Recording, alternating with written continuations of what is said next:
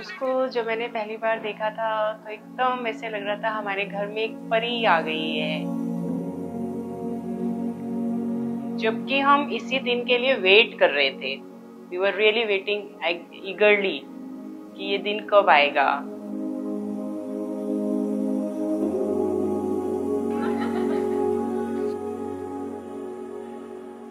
अभी लिशा की शादी में मैं जो आई हूँ अभी आप ये क्वेश्चन पूछ रहे हैं और मेरे यहाँ पे गूज बम्स आ गए हैं this is the feeling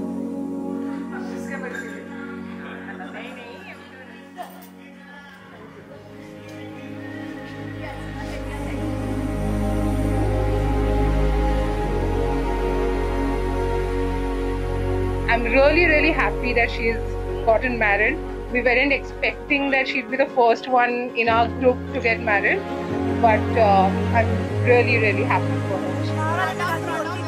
Yes, yes.